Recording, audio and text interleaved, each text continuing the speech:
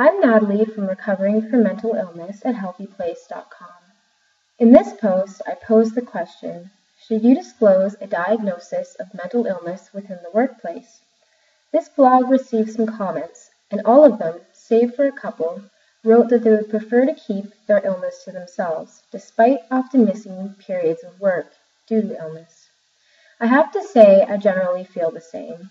In the past, I have kept my diagnosis to myself. This is mostly due to my feeling that mental illness in the workplace is still misunderstood and stigma still exists. It's getting better as employers are becoming more educated, but that does not make it any easier when we are faced with whether or not we should talk about our illness. If you feel comfortable telling others, then this reduces stigma, as your employer will see you as being competent as the next person despite having a mental illness, and we are. We just struggle sometimes, but so does everyone else. I know it's not the same, not even close, but if you physically injure yourself, you take time off work to rest.